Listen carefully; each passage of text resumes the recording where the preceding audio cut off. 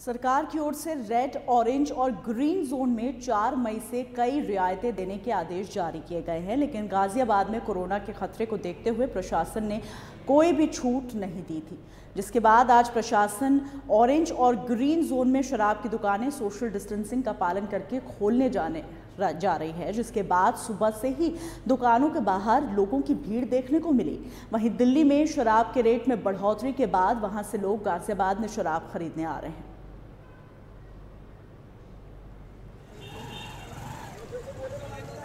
पूरे पैंतालीस दिन बाद वाइन मैं लेना आया हूँ। इससे पहले सारा टाइम स्टे होम में बिताया है और आज बड़ी खुशी हो रही है कि आज वाइन मिल रही है। देखो गेहूँ कटे थे तो गेहूँ की वजह से काफ़ी परेशानी हो रही थी।